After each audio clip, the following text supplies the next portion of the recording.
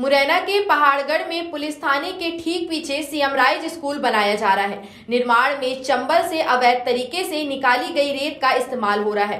काफ़ी तादाद में रेत का अवैध भंडारण किया गया है। स्थानीय लोगों ने नाम नहीं बताने की शर्त पर कहा है कि रेत कैलारस मेन रोड और धनकूड़ा नहर के किनारे से परिवहन कर लाई जा रही है। बता दें, सीएम राइज स्कूल सरकार की महत्वाकांक्षी योजना है, मकसद है प्राइवेट स्कूल की तरह सरकारी स्कूल बनाना। लोगों का आरोप है कि पिछले दिनों टिंटरा थाना प्रभारी ने जिस प्रकार से रेत माफिया का पक्ष लेते हुए वन विभाग के आरक्षक के साथ मारपीट की और ट्रैक्टर ट्रॉली को वन अमले से छुड़ाकर माफियाओं को थमा दिया था। उससे यह स्पष्ट हो गया है कि पुलिस और वन विभाग की मिली भगत से रेत का अवैध कारोबार चल रहा है। इस संबंध में जब वन विभाग के ज़िले के डीएफओ स्वरूप दीक्षित से बात की गई तो उन्होंने कार्यवाही की बात कही थी। हालाँकि तीन दिन बाद भी कोई कार्यवाही नहीं हुई है। सर्व सुविधा नेशनल हॉस्पिटल समान तिराहा रीवा में। अब कैंसर का सफल उपचार और ऑपरेशन की सुविधा उपलब्ध है। हमारे यहाँ मिल रहा है आयुष्मान भारत निरामय योजना का लाभ।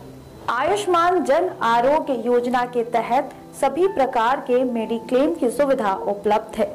हमारे यहाँ लेजर कैंसर, अस्थि रोग, एंडोस्कोपी, लेप्रोस्कोपी एवं प्रसूति रोग का अनुभवी चिकित्सकों के द्वारा उपचार किया जाता है। कैंसर के इलाज एवं ऑपरेशन अब रीवा के नेशनल अस्पताल में उपलब्ध है।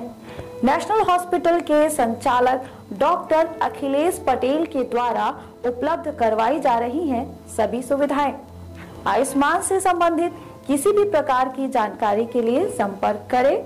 मोबाइल नंबर नौ छ नौ एक दो आठ आठ पाँच छ शून्य पर या फिर संपर्क करें सात पाँच छ छ आठ तीन एक पाँच पाँच एक पर। हमारा पता है नेशनल हॉस्पिटल समान तिराहा रीवा।